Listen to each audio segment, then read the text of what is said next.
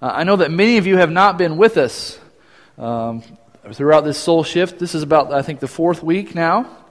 Uh, and this morning we're talking about the soul shift from seen to unseen. Uh, and when I say soul shift, that may be a concept that's unfamiliar to you. Let me uh, give you this quote from the book. It says, We'll call these changes that happen in a person after they become a follower of Christ, we'll call them shifts.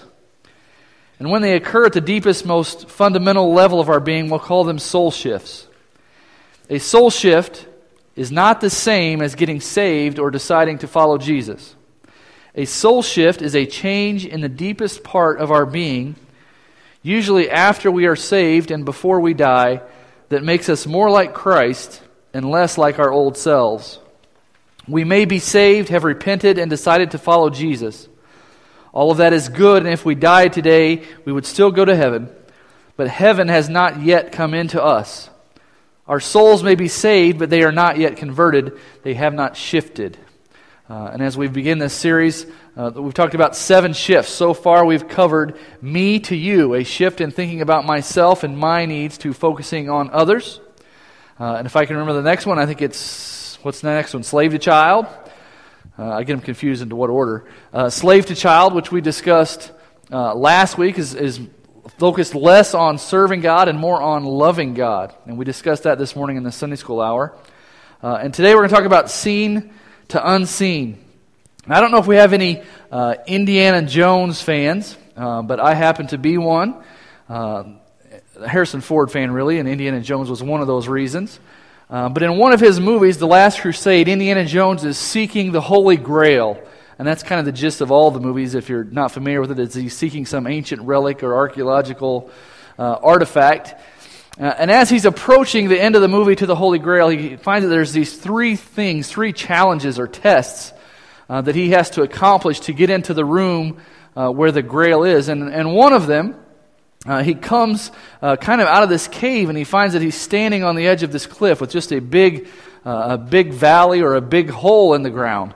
Uh, and there is apparently no way across. Well, he has this book of clues to guide him.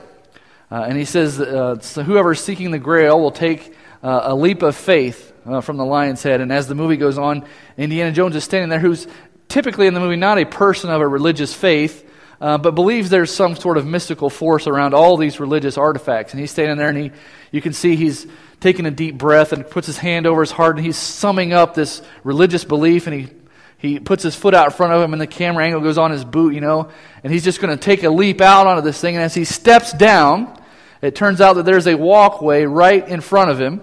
Uh, and as the camera moves, you could see that it was hidden by the background. It had been there the whole time, but you couldn't see it until the angle was changed. And he steps down and he kind of sees it and goes on. And of course, he gets the, he gets the prize in the end, the Holy Grail and so forth. Well, he doesn't get it, though. They end up losing it. He does get it, but then they end up losing it. And you know how movies go. So, anyway, uh, I thought of that idea, of this leap of faith, as we talk about from seen to unseen. As Indiana Jones could not see that path that was right in front of him until he stepped out. There are so many similarities uh, in the Christian life.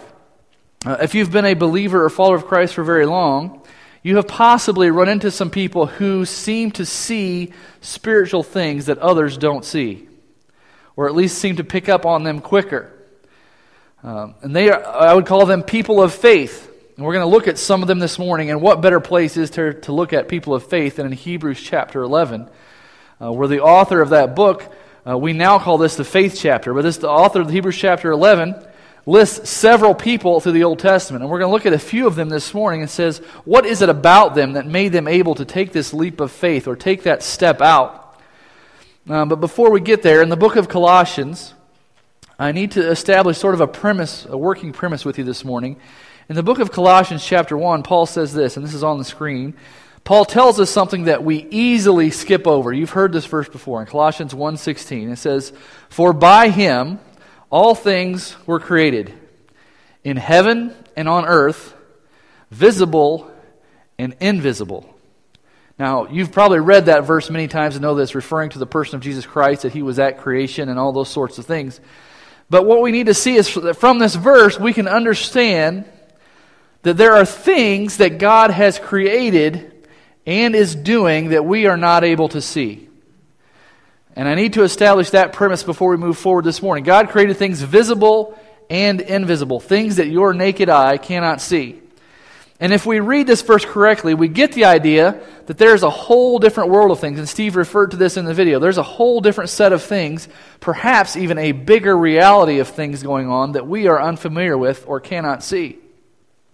And when we make this shift that we're talking about this morning from seen to unseen, we begin to think more about those things than about the things that we can see. And our minds become set on those things, and our thoughts revolve around the unseen. You see, in our situation that we live in today, we are very driven, and you probably know this as well as I do. We are very driven by what we see. And it's so easy for us to get focused on the circumstances and the things that we see going on around us. Uh, and that's often what we pray about the things that are visible to us. And all we see are the obstacles in front of us and the things that are holding us back the illnesses, the financial problems, the unemployment, the relationship issues, all those sort of things that slow us down.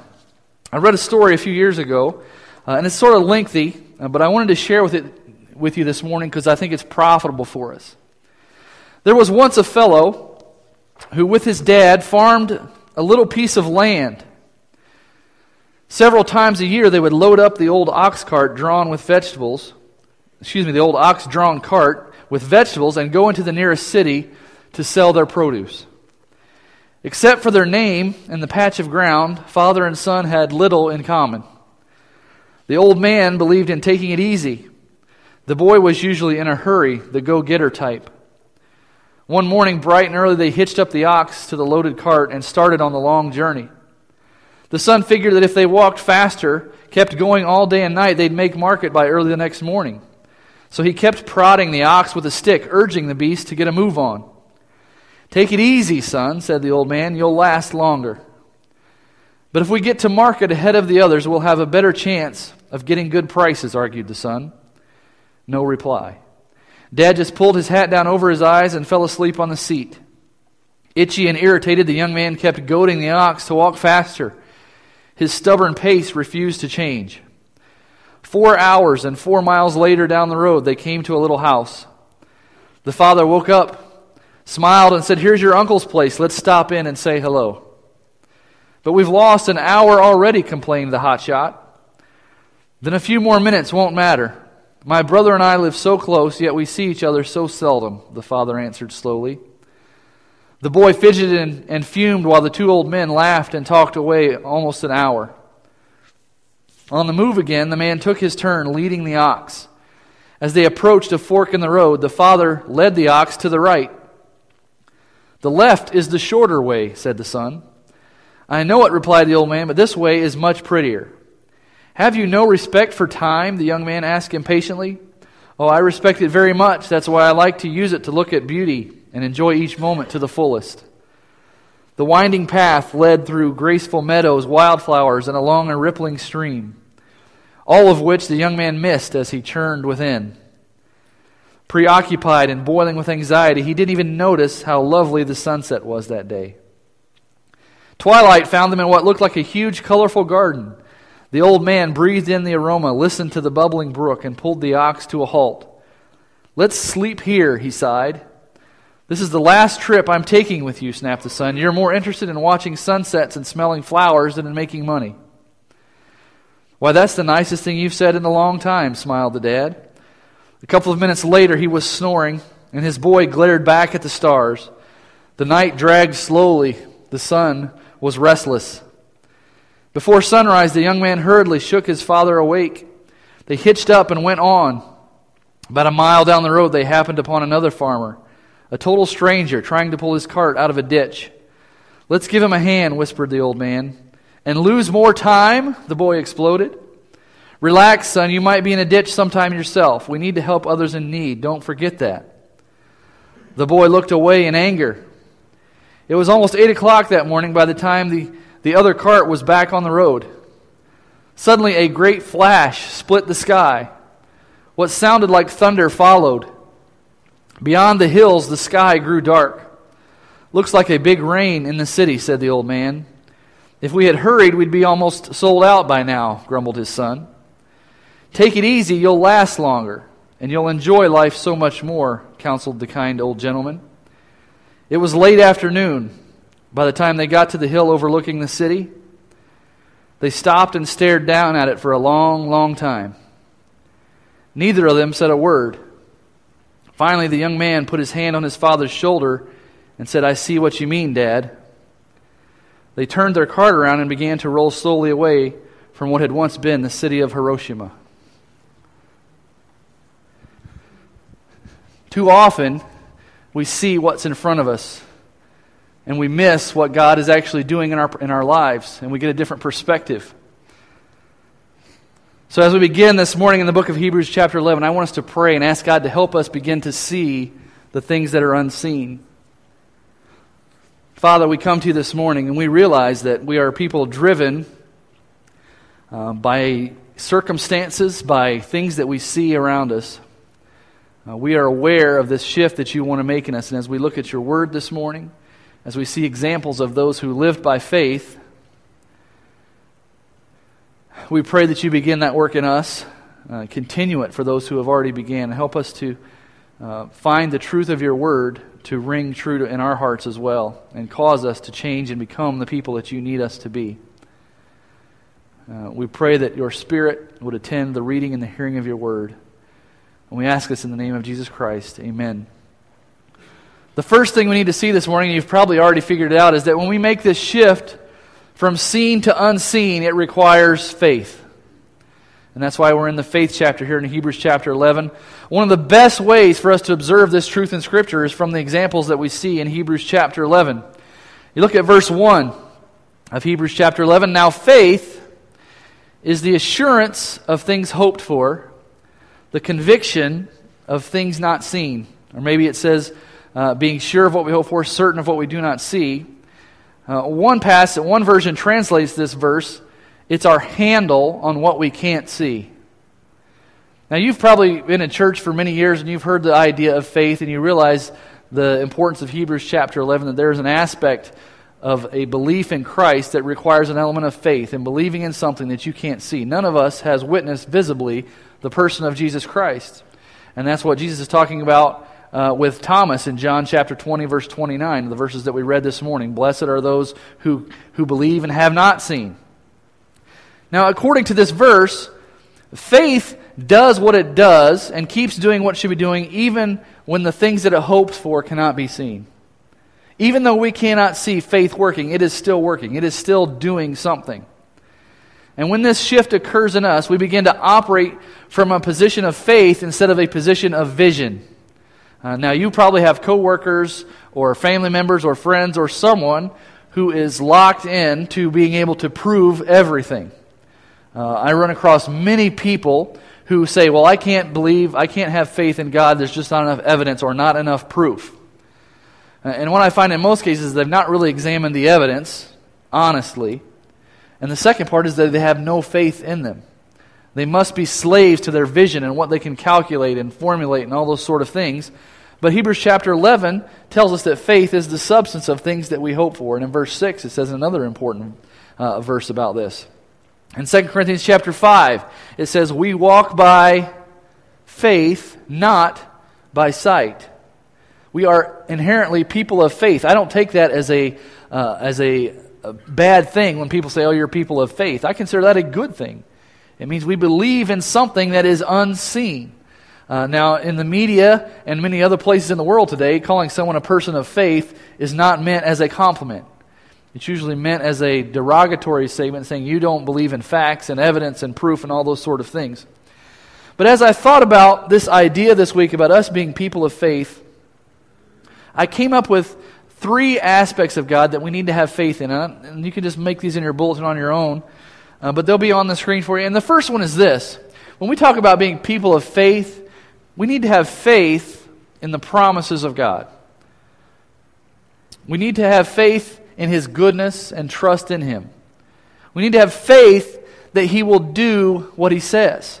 Now, Scripture is full of things, but if we don't believe that God is going to actually do what He promises or what He says, it doesn't really mean anything to us. So that's the first part thing that we need to have faith in. In verse 8 of Hebrews chapter 11, it's talking about Abraham. And in verse 8 it says, And he went out not knowing where he was going. Abraham had not seen the place where God was taking him. Abraham had faith in the unseen after God had promised him to make his descendants as numerous as the seashore, as numerous as the sand on the seashore and the stars in the sky. And God gives him that promise in Genesis chapter 12 and 15 and takes him to a place that he's not seen. And the story continues, though, because you remember in the, in the life of Abraham, he's headed up the mountain to sacrifice his only son, Isaac. His only son. Remember, God has promised him that his descendants will be as many as the sand on the seashore. And now God has asked him to sacrifice his son, Isaac. So they climb the mountain, Abraham and Isaac, and Isaac's looking around, and there's nothing else to sacrifice. And he asks Abraham, he says, Where is the lamb for the burnt offering? And Abraham says, God will provide for himself a lamb for a burnt offering, my son. He trusted in the promises of God that Abraham was going to be a great nation. And here God is now asking him to sacrifice his only son. Yet he had faith in the promise of God. God tells him, I'll give you many descendants. In 1 Thessalonians, it says, God, the one who calls you, is faithful, and he will do it. Now, I hope that, in there, that I have a group of you here this morning that believes that God is faithful and He will do it and has faith in the promises of God. Can I get an amen there? Because it's very important that if God is a, is a God of faithfulness and trust, He needs to fulfill His promises. And I'm here to tell you this morning that He is good and faithful even when you can't see it. And He will fulfill His promises. In Psalms chapter 20, it says, Some trust in chariots and some in horses but we trust in the name of the Lord our God. That's where your faith is at. When my vision tells me that everything is all wrong, faith tells me that it's all right. You see how I've moved from a thing that I see to a thing of, that I, is unseen. So not only do we need to have faith in God's promises, the second thing we need to have faith in His power in His ability in his strength. So it's not only that he will do what he has promised, it's that he can do. Does he have the ability, the power to move in such a way to fulfill his promises? I can promise you many things this morning and have a desire to make them come true, but if I don't have the power to make it come true, it's irrelevant. He is able to do what he promises. Now, Sarah also appears, Abraham's wife, in chapter 11. And in her, God does something that is entirely supernatural. You remember the story when he tells, Abraham, he tells Sarah that she will have a child, and she laughs because she's 99, 100 years old. In the realm of possibility, it's not very likely at all. And if you step away from faith, you would just say, It's not going to happen, Sarah. But she made it into the faith chapter, didn't she, in chapter 11? And so did Abraham. In verse 11, it says about Sarah she considered him faithful who had promised. She considered him faithful who had promised. And in the life of Sarah, we see the promise of God fulfilled. Not just a promise, but using his supernatural power, he does that. The third thing we need to believe about God and have faith in this morning is in his providence.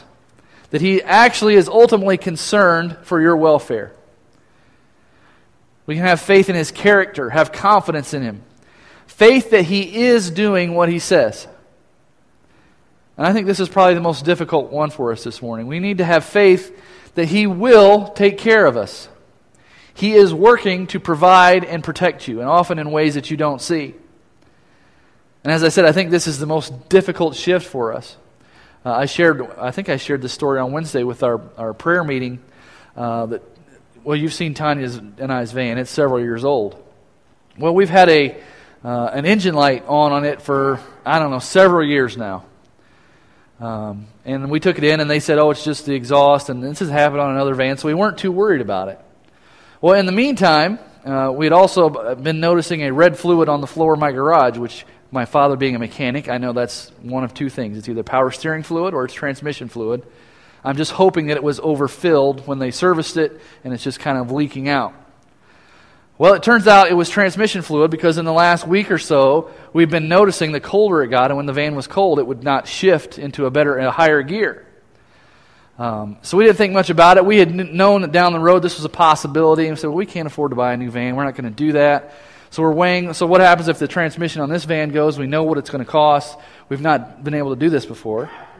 Well, it just so happens, and I think you have most of the story in there, uh, your prayer bulletin there, that it just so happened that when Bob and Judy leave town, they let us borrow their van, which works for us. Most of the time, we're a one, one car family.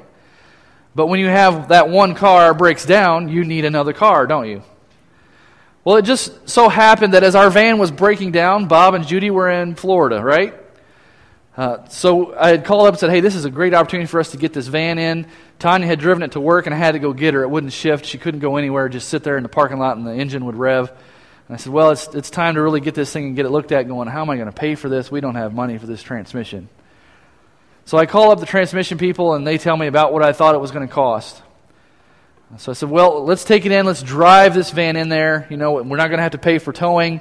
We can't go over 35 miles an hour, so I'll have to go the back ways and stay on the main roads and so forth. And so I drive the van there, and Tanya's following me with the kids. Uh, so they fix the van. They call me up and they say, well, it wasn't the transmission. And I'm like, well, that's good news, I think. uh, this is what I had known was going to happen to my van. And they said, well, it was a little, it's called a, some kind of packet. I can't remember the words now, but. Uh, and what it is is it just gets a little problem in there, and some some seals don't seal right. The transmission fluid doesn't build up enough pressure, and it can't shift to a higher gear. And they said, "Well, it's only going to cost about three hundred and fifty dollars." I was like, "Well, three hundred fifty dollars compared to the cost of a new transmission, I can handle that." So I go to pick up the van. Uh, we go to get it, and I start to talking to the guy that's there, and just I'm just overjoyed that I'm getting off this easy, you know, with not having to replace the transmission. Uh, it was scheduled. I had called him and scheduled it for Thursday. Well, when we got to Tuesday, before that Thursday, it was no longer workable. And I said, "Well, we need to get this thing in." They said, "Well, we, earliest we can get you in is Thursday." I said, "Fine, I'm bringing it today. Uh, you know, I can't drive it anyway." So I actually I went to get the van on Thursday when I should have been dropping it off. So God is good and He's faithful. But there's more to the story. I'm talking to the guys, I'm picking the van up uh, and saying, you know, I'm just so grateful that this thing, it's not the transmission. Did the rest of it look okay? Am I going to be back in here in a week to do the transmission? You know, he said, no, it looks pretty good other than this. Uh, the van runs like new. I got off, I got off really cheap. I got it done two days early. And he said, we also noticed that you had an engine light on. I said, Oh, yeah, it has to do with something He goes, It's not on anymore. He goes, And we fixed the transmission leak. So, in reality, I think what had been happening is God had been preserving my van for all these years that that thing had been leaking fluid on my floor and that, that light had been on in my van. Yet I didn't see it that way, did I? I saw it as this stupid van's going to break down. I'm going to have to pay a lot of money to have it fixed. And yet God says, Hang on a second. How about if I get it to you early for about one third of the price that you thought you were going to have to pay, and I'll let you drive it for years before it actually breaks, before it should have. That's the God I serve. Now, if I focused on the visible things, I could still be upset that I had to pay that much money to fix my van. Or I could, as I was thinking through this this week, I thought of the verse in, uh, in uh, Deuteronomy, I think it is, where Moses is recalling the Israelites' journey through the wilderness, and he says, For 40 years your shoes and your clothes did not wear out. For so many years, the transmission in my van did not wear out, and that's God's faithfulness. And I would even suggest to you that's his supernatural ability to make something last beyond its years. I've seen him do it before. That's the kind of God that I can have faith in, who I can trust in his promises. I can trust that he has the power to do it and that he is secure in his authority and he is looking out for me. And that's where it's so difficult for us because we often don't think that. When all around us we see unemployment, we see economic difficulties, we see uh, failing health, we see difficult relationships. We see all these things. We're quick to lose faith in God's work because we don't see what He's doing. You see, Scripture teaches us that Jesus Christ is the same yesterday, today, and forever, which means that God cannot do something against His character. And what do we say around here? God is good, and all the time, whether we see it or not. And that's why it's important for us to maintain that identity and that purpose in our mind that God is good all the time. So even despite current circumstances and situations, he is doing what he said he will do even when you can't see it. In the case of Noah, who also makes it here into Hebrews chapter 11. In verse 7, it says that Noah was warned by God concerning events yet unseen. God warned Noah about things that he couldn't see. See, God asked Noah to do something even before Noah saw the possibility of a problem. Do you realize that Noah had never seen rain? There's no rain before the time of Noah. You see, Noah was obeying God and following an instruction about something that he had no concept of. God says to Noah, It's going to rain. And Noah responds, It's going to what?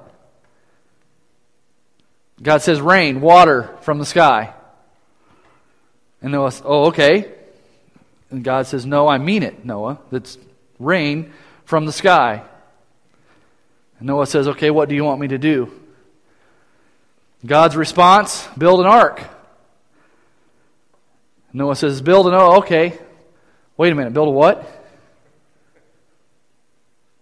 A boat. No, it's going to rain a lot. Oh, okay. Well, how big do you want it?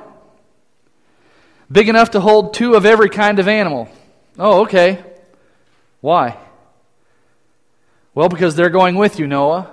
With me, where am I going? You're going in the boat, Noah. It's going to rain a lot. Oh, okay. Well, why am I going in the boat?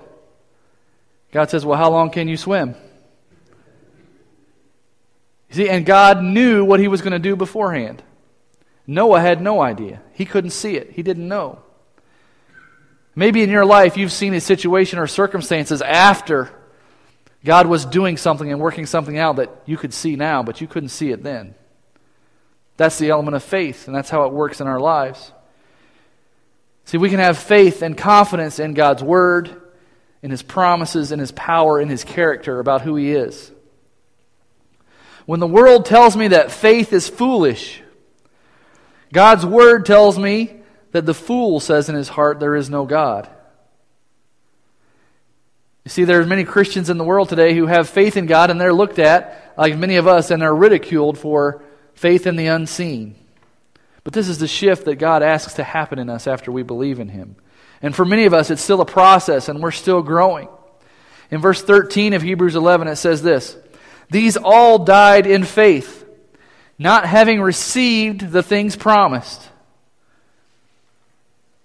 but having seen them and greeted them from afar. He's talking about they were even looking ahead to things that God was going to do throughout the course of history, things that Noah and Abraham didn't see. We used to sing a song. I say we, the cheerleaders used to sing a song on the team bus coming home from away basketball games. Uh, it seemed to be one of their favorite things to do. And the song was, He's Got the Whole World in His Hands. I don't know if they still do that or not, but are you familiar with that song? You want me to sing it for you? Because they would put every person on the bus, their name. He's got you and me, brother, in his hands, and it would be every person on the bus. He's got Jeff Elliott in his hand. And even while, it, to me, being a high school student, I was like, I'm not singing, you know, because we're manly men. We don't sing praise songs to God on the bus. We're macho basketball players, you know, and you cheerleaders can sing. I have to admit that in that moment when they were singing, He's got Jeff Elliott in his hands, there was a sense of comfort there. It meant something to me. It was still important for me to hear that, even though I wouldn't acknowledge it. And it was something that girls do. There was a sense that I knew that God still had me in his hands, even at that age, before I could see what my life had in front of me. You see, a faith that demands something be seen is not faith, because we saw in verse 1 faith is things not seen. If I believed that the only things that existed were things that I could see, I'd be very disappointed. If this things that I can see on this earth and on this planet and this town, if this is all there is, I don't want it. I'd be very disappointed. So the question for this morning is how big is your God? And do you trust him? Is your God big enough for you to have faith in him and what and that he is doing something you cannot see? You see, faith says, I do not know what God is doing, and I cannot see his hand, but I know that he is good, he is faithful and true, and he has promised, and he will do it. And all God's people said, That's moving from seen to unseen. But this shift requires more than faith. How do we live this out? How do we show that we have faith in God's promise and his power? It's one thing to have faith and to believe that God is able to do this. But how do we go about doing his work in a kingdom that we can't see? We're so quick to talk about faith and yet so slow to understand how to live it. You see, for us to work and for us to operate in this unseen kingdom, it requires something else. For us to function this way, we have to have focus. And that's the second thing in your outline this morning. We not only have to have faith, we have to have focus. We have to move our focus from things that we see to pursue things that are unseen, pursuing the kingdom of God. And you can see in, in the times in the gospel when Jesus talks about the kingdom that the disciples totally missed the boat about what he was talking about. They so easily confused the coming Messiah, the Jewish Messiah that they expected, with the coming kingdom of God. If you have your Bibles, turn to Matthew chapter 6. I want you to see something in this passage. When Jesus was here, he realized how easy it was for us to lose focus, how easy it was for us to concentrate on the things that are going on around us that we can see. Let's start reading in verse 25 of Matthew chapter 6. Jesus says, Therefore I tell you, do not be anxious about your life, what you will eat or what you will drink nor about your body what you'll put on. Is not life more than food and the body more than clothing? That's a fair question, isn't it?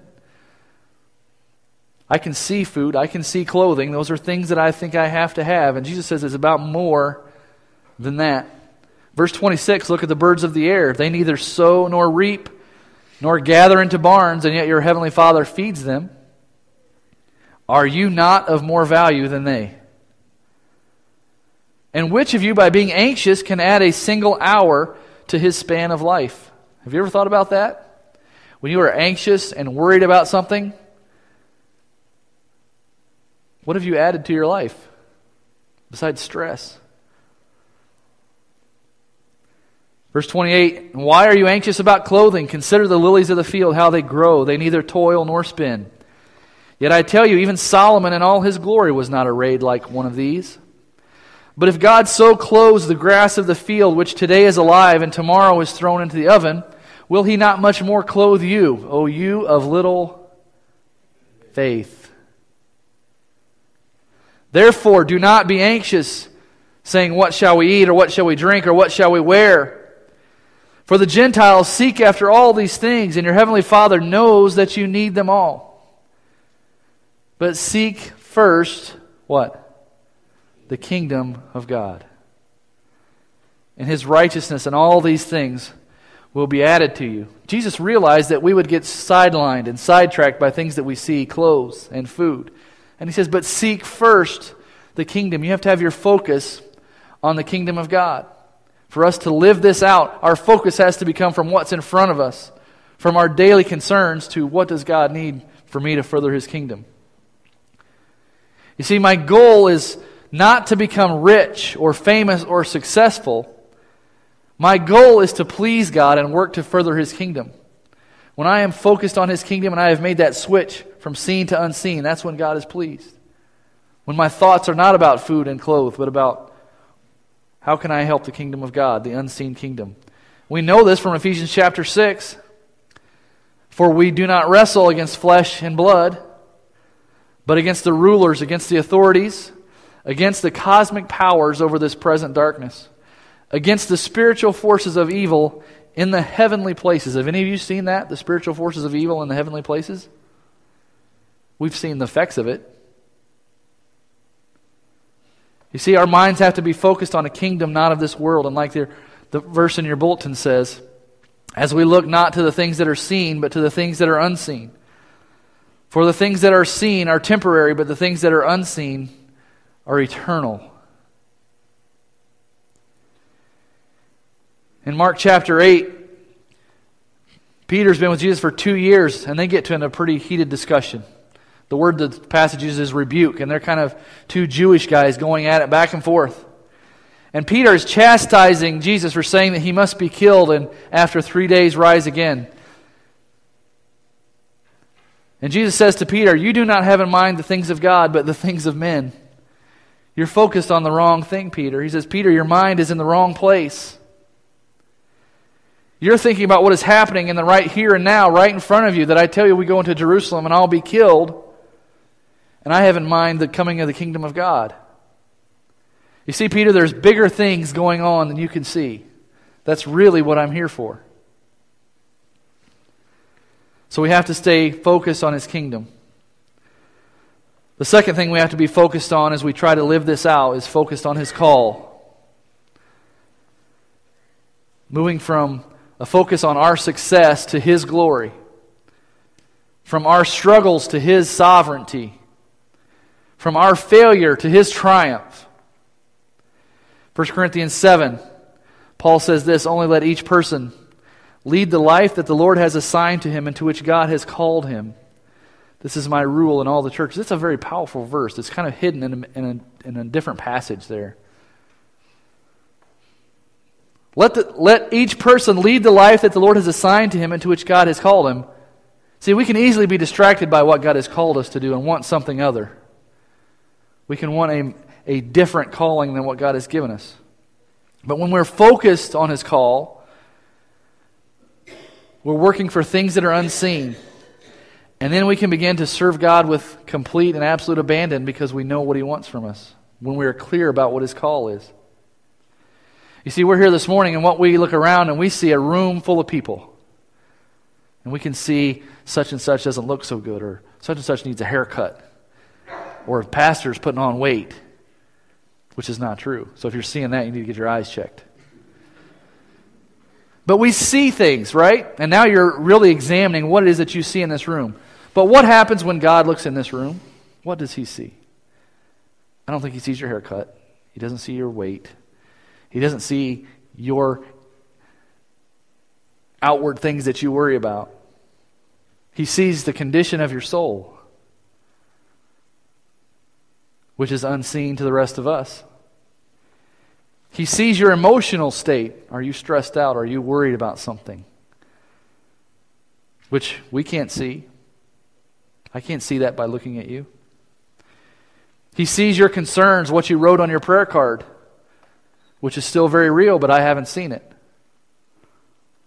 He sees what's going through your mind right now. And that's very real, but it's unseen.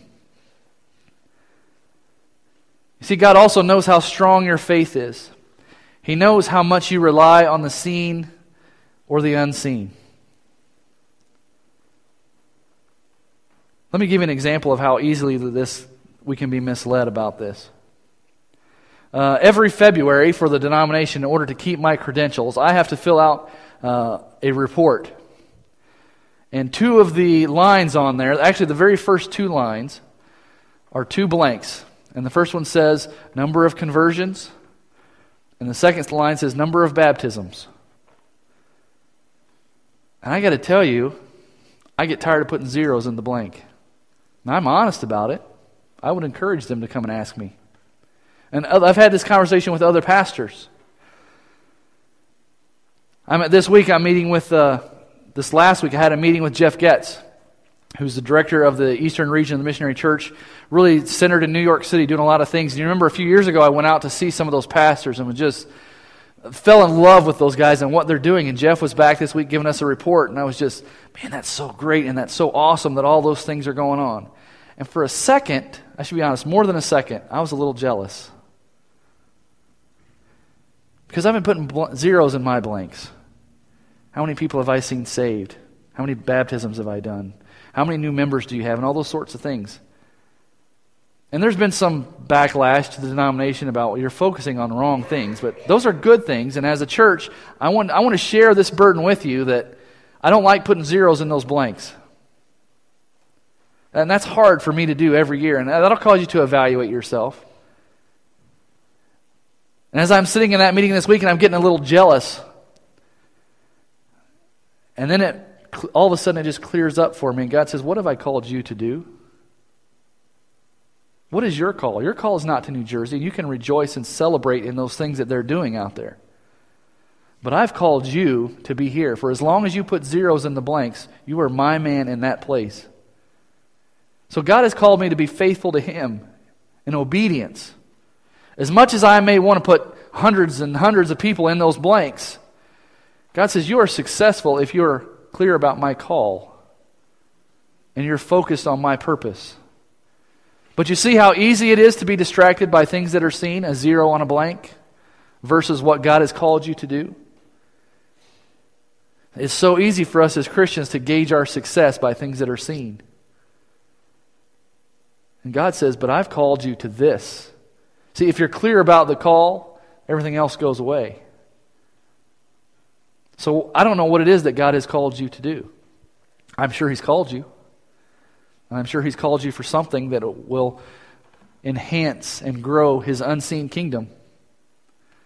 And as we go through this study, maybe you'll see some shifts and maybe you'll understand more about what God wants to do in you. But I want to warn you about this danger because I saw it when I fill out that report. When I go to meetings and hear good things that God is doing about His kingdom in New York City. And I start to focus on, man, I want to go there and do that. And then in just a moment of clarity, God says, Well, I've got you here doing this. Why is that more important than this? We fall prey to that, don't we? I did this week. And I hesitated to share that story because I, was a pastor, have not got this all figured out. But you know that by now. So as you go this week, and as we close this morning, the worship team can come up. Think about what are the, the seen things in your life that you're focusing on? How do you transfer into focusing on the unseen things of the kingdom of God? Because the reality of it is, when we're clear about God's call, we're clear about what He says that my grace is sufficient for you. My grace is all you need. You're not accomplishing anything for my kingdom without me. So, as we close this morning, we're going to sing, Your Grace is Enough. And it's kind of a, a, faster song, but I want it to be a prayer for you because I need to sing this this morning that God, even though I was in love with what I heard from New York and New Jersey, and even though I'm tired of putting zeros in the blanks, your grace is enough for me. And being faithful to your call. So stand this morning as we sing and, and close with this. God, we come to you this morning. There's times when we can't believe your grace is enough. We look around us and we see things that cause us problems and give us issues. But they're all things that we see. We surrender those to you, Lord. This kingdom of the unseen, we want to be all about that. Help us focus. Give us faith, give us courage. We thank you for the Holy Spirit that give us strength and ministers to us in the times when we're so consumed with the things that we see. As we leave this morning, may you be honored by our lives, by our faith, and in being clear in our call to you. We ask these things in Christ's name, and all God's people said, You are dismissed.